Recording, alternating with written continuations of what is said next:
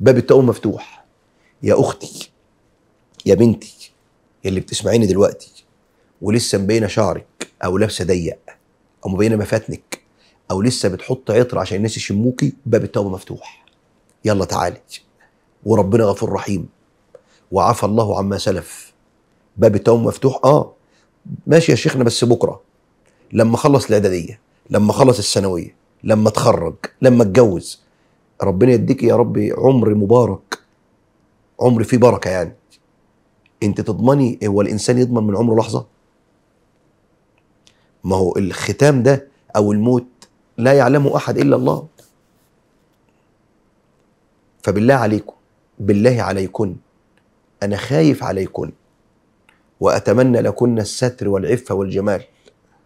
وبعدين إياكي وما يسمى بالمكياج أو make up أو ال أو ال أو الألوان اللي بيحطوها على وشهم دي. ليه؟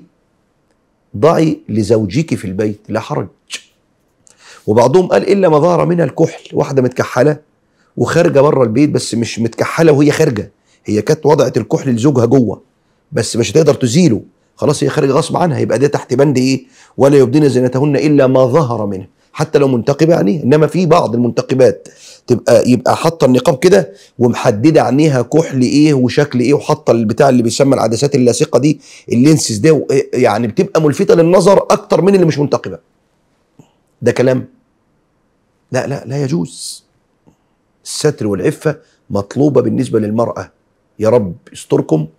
أسأل الله أن يستركن وأن يبارك فيكن وأن يهديكن جميعا إلى ال- إلى ال- إلى الحجاب الشرعي للمرأة ال- ال- المسلمة المحتشمة الملتزمة يبقى إياك والميك اب إياك والمكياج إياك والتعطر كل ده خارج البيت إنما داخل البيت افعلي ولا حرج وإن زدتي فهو خير لك. ربنا يبارك فيكم ويحفظكم.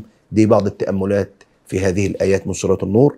إن وافقت الصواب فمن الله وحده وإن كان عندي من خطأ أو سهو أو ذلل فمني ومن الشيطان والله ورسوله منه براء.